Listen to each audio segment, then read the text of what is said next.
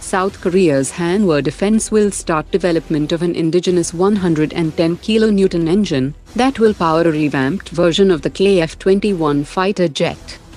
The total volume of weapons purchases by Armenia from India has reached $600 million by the start of current financial year.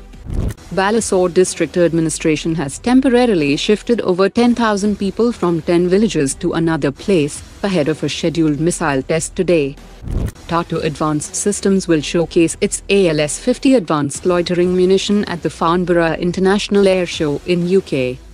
Airbus and Tata Advanced Systems have signed a contract to establish H125 final assembly line in India.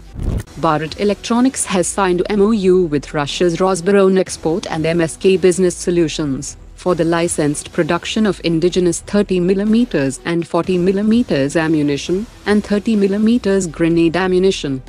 The inquiry into the accident related to INS Brahmaputra has been handed over to a Rear Admiral rank officer, who will come out with a detailed report on the exact cause and also point out personnel accountable for the mishap.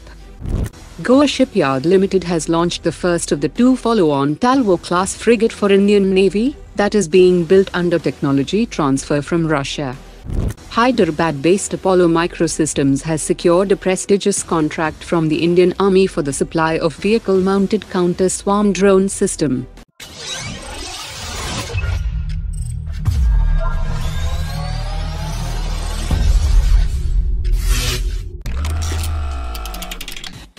Apart from the integration of various indigenous systems on Su-30 aircraft under Super Sukhoi upgrade, a particularly exciting development is the planned integration of manned-unmanned teaming capabilities into the first 84 Su-30 aircraft that will allow the fighter jets to operate in tandem with advanced autonomous drones, loyal wingmen and unmanned aerial combat vehicles that will significantly expand its operational effectiveness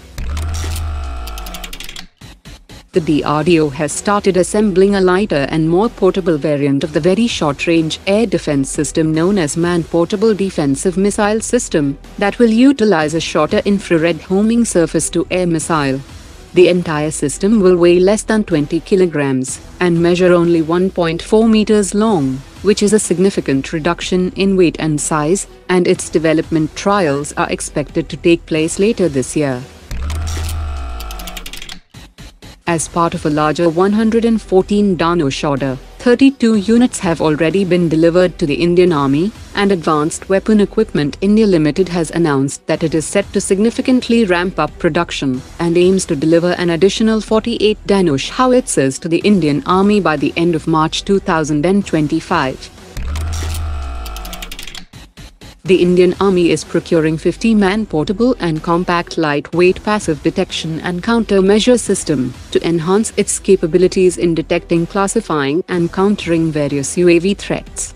The Army will integrate the 50 systems with its existing 30 tactical control radars and low-level lightweight radars to boost their operational capability and survivability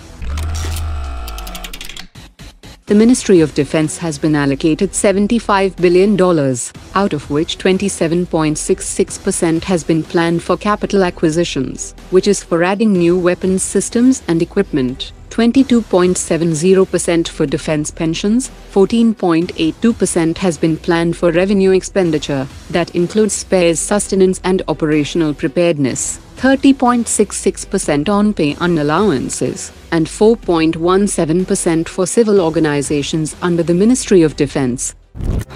Today's top 3 comments.